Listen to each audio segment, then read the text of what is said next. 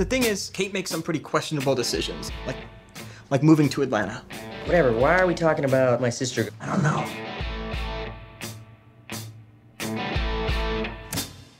You want to have sex with my sister, don't you? Okay, your sister is attractive. Uh, my twin sister? Which is basically like having sex with me? Remember graduation night? We were nailing Tina Scotto. No, I was actually having the best night of my life with your sister. What? You deflowered my sister? And I know all the details? Ah!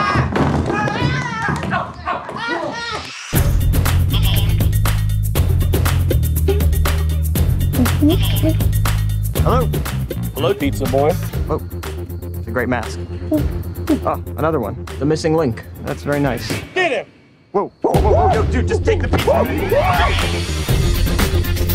Oh, man. What do you want? We gotta talk. We have nothing left to say to each other. Two guys in masks jumped me and strapped a bomb to my chest, and now I have less than nine hours to rob a bank. You're hysterical. Great joke. What the? Keep your voice down. Is that thing real? And your first thought was to come to a school filled with young children? Get relevant. Come on, get relevant.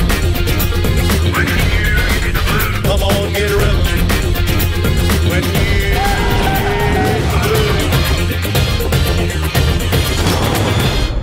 It's a breeze. Run into a bank with a bomb and take all the money and then leave and then go back to work. Don't make a big deal out of it, all right?